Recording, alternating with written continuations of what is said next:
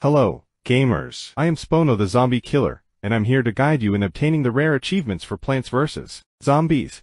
Game of the Year Edition. These achievements, with a success rate of 25% or lower as of the release of this video, are not just rare. They are a true testament to your gaming skills. Let's start with the Morticulturalist achievement, which currently stands at 24.6%. It's a rare feat, but with the right strategies, you can conquer it and feel the rush of accomplishment.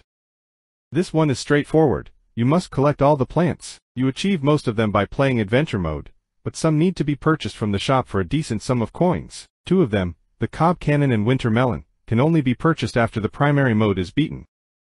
The Beyond the Grave achievement requires you to beat all 20 mini-games. To guide you through this, I've created a comprehensive tour video that covers every aspect in detail, providing a thorough understanding of my strategy and approach. It's divided into sections, allowing you to focus on the areas you need help with. I'm here to support you every step of the way, ensuring you feel confident in your abilities. Please watch the entire 120 minutes for my watch time. Also, remember to subscribe for more zombie game content. Sunny Days requires 8000 bits of sun, on a single level. I recommend getting the Walnut Repair and Double Sunflower to make this easier. These tools can significantly empower you in your quest. Although this can be done without either, they make the task more manageable. Kill every zombie except one, and spam sunflowers and walnuts until you collect enough sun for the achievement. If you have survival mode unlocked, that's the best type of game to do it in. Speaking of survival mode, the Nobel Peas Prize requires you to beat all mini-games, puzzles, and survival levels alongside the adventure. I also have videos covering the puzzles.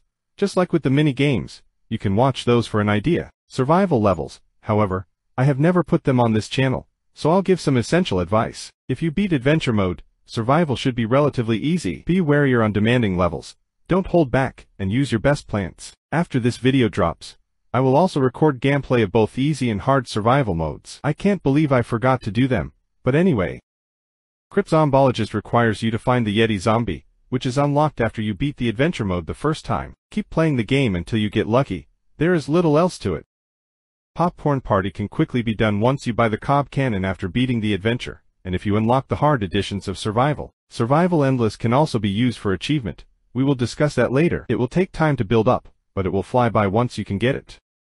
This is where we start getting to the real deal in achievements. I have a video on Survival Endless, but I recommend you look up the various methods for getting to Wave 20 on FanWikis or YouTube since my video did it improperly. The 8, 6, 4, 2 cob, and cob-less methods exist. If you want to stretch it out to infinite waves, these tips can take you far beyond the 20th wave, but you only need 20 for the achievement. Ask me about mustache mode is the fastest rare achievement ever. You must type mustache, no matter what spelling you use while playing. This accomplishment is a breath of fresh air, providing a moment of relief from the more challenging tasks. Grounded is easy if you have played through survival enough to unlock the ordinary roof level. Use starfruit, pumpkins, and imitator plants to zoom through the five flags. Alternatively, no fungus among us can be completed quickly by doing five flags in the regular version of Survival Night. In the early game, utilizing lawnmowers and rakes to build your sun would be best. Towering Wisdom is elementary, but it requires a lot of grinding if you start from zero. Each bag of Wisdom fertilizer costs 2,500 coins, so you would need 250,000 coins for the achievement. Also, if you don't already have the tree, that's another 10,000. Rather than telling you how to get it, I'll provide you with a link to gold grinding content in the description below, but please do not watch it yet, wait until you fully watch my video. After that, you are now at the Good morning is the easiest of the remaining three, yet it is still difficult for beginning players. But, assuming you have done this video in order, you should have a fundamental clue as to how to do this, because you've completed No Fungus Among Us. However, it would help if you had a semblance of luck, alongside skill and quick thinking to pull this off without intense struggle. Do not use the puff shrooms for offense, for example. Only use them as fodder to build up your sun shrooms and better offensive options. China Shop is challenging because it requires perfect timing and on-the-spot planning. How I did it may only work for some, but I encourage you to check out my three Breaker videos for a starting point. Rapidly break vases to gather as many materials as possible. It is best to do it from right to left. Try using walnuts and timing to kill multiple zombies with one squash or potato mine especially when dealing with gargantuars. If that doesn't work, some wikis can provide you with more support than I can. I will link them below for you to read after finishing this video.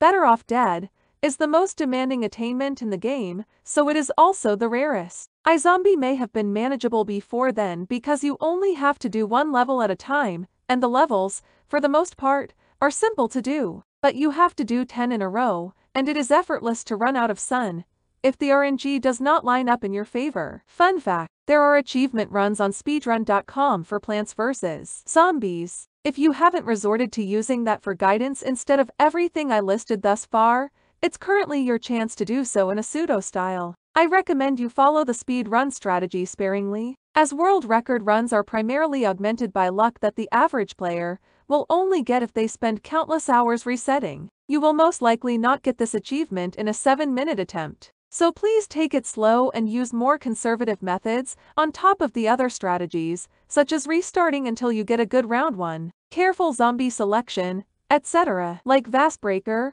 I will leave a wiki guide if you need more than my video.